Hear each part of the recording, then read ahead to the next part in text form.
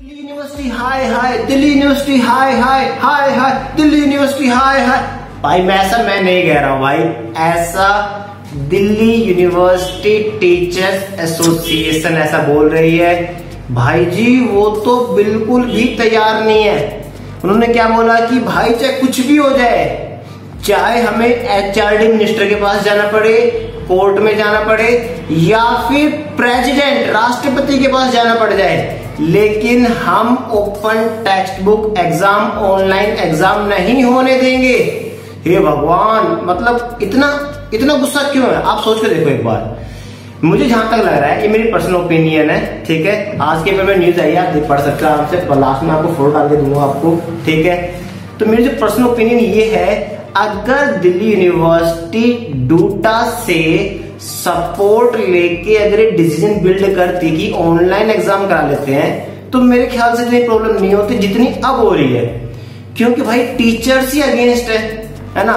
तो डूटा जो दिल्ली यूनिवर्सिटी की टीचर एसोसिएशन है, उन्होंने एक ऑनलाइन सर्वे कंडक्ट किया, जिसमें अराउंड 52,000 स्टूडेंट्स ने पार्टिसिपेट किया ओके उसमें से 85 percent student open text book exam के अगेंस्ट है। लो भाई इस रिपोर्ट को उन्होंने सबमिट कराया किसके पास? दिल्ली यूनिवर्सिटी के पास सबमिट कराया ओके एचआरडी मिनिस्टर के पास भी भेज दिया उसको ह्यूमन रिसोर्स डेवलपमेंट मिनिस्ट्री ठीक है? एचआरडी मिनिस्टर के पास भी भेज दिया। तो भाई इन्होंने बहुत गलत कर दिया। अगर उस टीचर एसोसिएशन को शामिल कर लेते ना तो मुझे लगता था कि भाई ऑनलाइन एग्ज़ाम होने में इतनी प्रॉब्लम नहीं होती हो जाती है ना? लेकिन भाई 85 परसेंट स्टूडेंट्स अगेंस्ट है क्योंकि खुद भड़का रहे स्टूडेंट्स को मना करो मना करो ऑनलाइन एग्ज़ाम के लिए है ना? तो ऐसे में कैसे पॉसिबल होगा? इन्होंने रीजन क्या कहती है देखो डूटा के जो प्रेसिडेंट है राजीव ने कहा कि जो रिपोर्ट आपकी उसको हम एचआरडी मिनिस्टर को भेजेंगे। अब बात आती है कि जो 52,000 स्टूडेंट्स थे कौन से स्टूडेंट्स थे सर ये तो बताओ। तो उसने बताया कि भाई इसके अंदर अंडर ग्रेजुएट यानी कि जो ग्रेजुएशन कर रहे हैं सिंपल है ना? पोस्ट ग्रेजुएशन की बात नहीं हो रही। 92.2 percent students under graduate student ने पार्टिसिपेट किया। 7.8 परसेंट पोस्ट ग्रेजुएट स्टूडेंट ने पार्टिसिपेट किया। उसके बाद 7.8 मैंने बता दिया आपको 86.8 टोटल रेगुलर कॉलेज के स्टूडेंट ने पार्टिसिपेट लिया। टोटल रेगुलर कॉलेज कितने बच्चे थे? 82.86.8 ओके उसके बाद एसओल के कितने स्टूडेंट्स थे, ध्यान सुनो एसओल के 8 परसेंट स्टूडेंट ने पार्टिसिपेट किया और एनसी वेब के 5.2 परसेंट स्टूडेंट ने पार्टिसिपेट किया, जिसके अंदर 85 परसेंट ने क्लियर बोला कि भाई हमें ऑनलाइन एग्ज़ाम नहीं देना।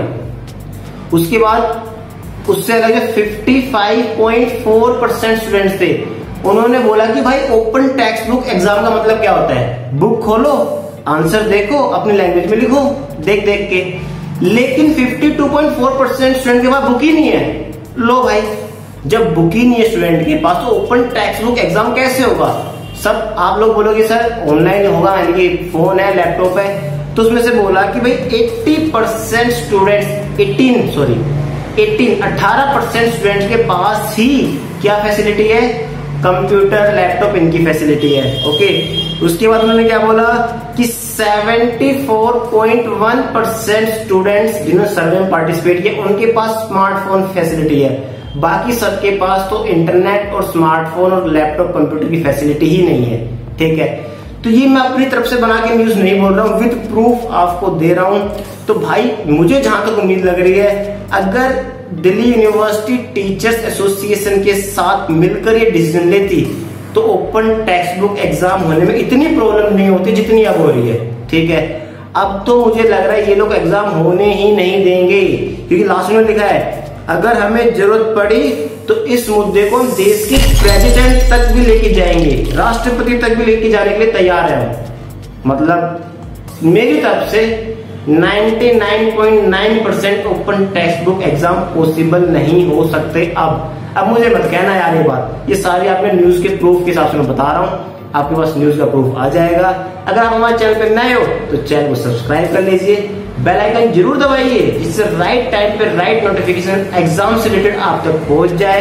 ओके उम्मीद करता हूँ आपको वीडियो पसंद आई होगी तो वीडियो को लाइक कर दीजिए कमेंट कीजिए, दोस्तों के साथ शेयर कीजिए, जिससे मैक्सिमम स्टूडेंट्स इन सब चीज़ों का बेनिफिट उठा सके और अपनी नॉलेज गेन कर सके। क्या सिस्टम चल रहा है पूरा दिल्ली यूनिवर्सिटी के अंदर?